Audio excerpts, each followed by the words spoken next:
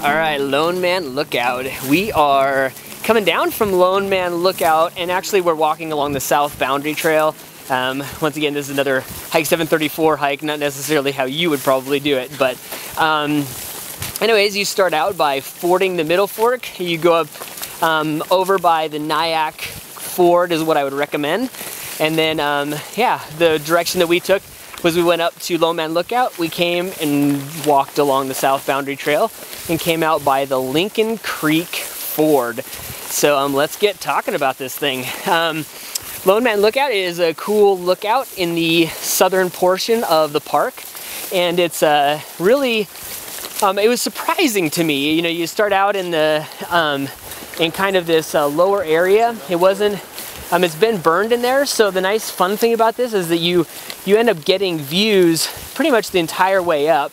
And so you spend most of your time overlooking the middle fork and it's just super pretty. And then as you get up, you go into um, what they call the middle fork um, as far as the mountains, like where a lot of my friends ski and what have you. But um, yeah, and then then you start to turn the corner and get higher up and it gets more into some more of the burn area and, um, and you know, we're doing this in the fall, so it is just beautiful with all the colors changing and everything. Finally, we get up, start to get up high, and the views start getting ridiculous. And then finally, we make it all the way up to the top, and um, yeah, definitely um, not what I was expecting. I was expecting to see more of like a lot, a lot more of a southerly view, but man, you get to look down on Harrison Lake, and then you just get to see the sea of peaks. You can see all the way way up into the North Fork, and then you can see in the whole Coal Nyack region with Mount Stimson and St. Nicholas and Jackson. It's just great. You just get a lot of really cool epic views and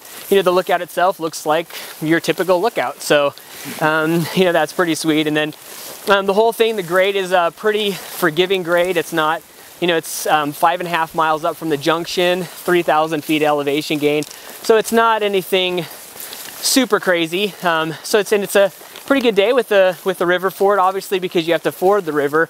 It's not an early season unless you get boated across. But um, anyway, so then we came back down and we started hiking the boundary trail and it was actually really cool. Um, I was kind of surprised. I was expecting some overgrown kind of gross little deal, but we ended up I'm walking and it starts out in the burned area with, uh, once again, those good looking views into the water.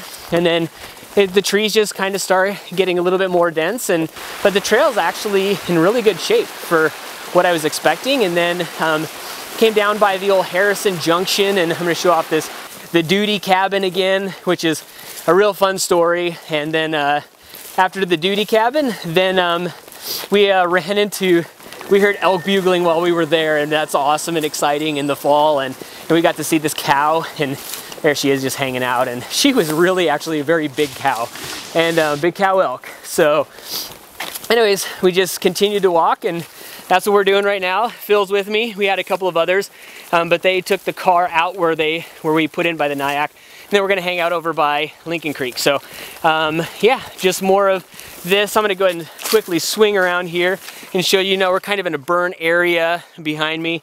Um, but yeah, just you can see over my shoulder, the fall colors are really fantastic. So um, just using this as an excuse that, man, just because it's September doesn't mean that you can't be in Glacier, I'll tell you that much. So anyways, this is uh, Lone Man Lookout with a little south boundary trail down to Lincoln Creek. That's my story.